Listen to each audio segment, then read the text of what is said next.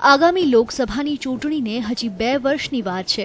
પરંતુ ભાજપે અત્યારથી જ કમર કસવાની શરૂઆત કરી દીધી છે.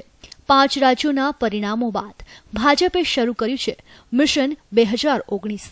ભાજપની સંસદીય દળની બેઠકમાં પીએમ મોદીએ સાંસદોને તૈયારી કરવા જાણે નિર્દેશ આપી દીધો. સંસદીય દળની બેઠકમાં પીએમ મોદીએ સાંસદોને યુવા વર્ગ પર ધ્યાન આપવા અને ભાજપ તરફ આકર્ષિત કરવા ભાર મૂક્યો.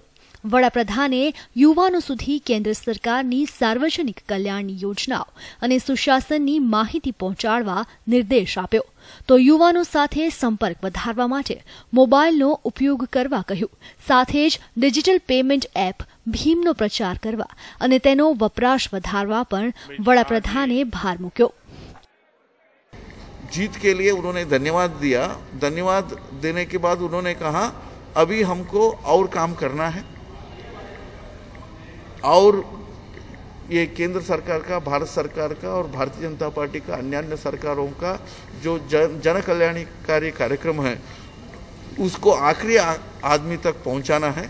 उसके लिए संगठनात्मक दृढ़ता चाहिए। इसी, इस कारण पूरा देश भर में ये कार्यक्रम करना चाहिए। આ ઉપરાંત ભાજપ વર્ષ બે હજાર ઓગણીસ માટે દલિત મતદારોને રીઝવવા અત્યારથી જ તૈયારી કરી રહી છે. ભાજપે ચૌદ એપ્રિલે ડોક્ટર ભીમરાવ આંબેડકરની જયંતીને લઈ જુદા જુદા કાર્યક્રમો યોજવાનો નિર્ણય કર્યો છે. આ ઉપરાંત ભાજપના કાર્યકર્તાઓને આંબેડકરના કાર્ય અને તેમના યોગદાનનો પ્રચાર કરવા પણ આદેશ અપાયો છે. આટલું જ નહીં ભાજપે સ્વચ્છ ભારત મિશનને પણ વધુ મજબૂત બનાવવા માટે છ એપ્રિલે સ્થાપના દિવસ નિમિત્તે નેતાઓ અને કાર્યકર્તાઓને સ્વચ્છતા અભિયાનમાં ભાગ લેવા પણ કહ્યું છે. પાંચ રાજ્યોના પરિણામ બાદ ભાજપનો આત્મવિશ્વાસ ચરમસીમાએ છે.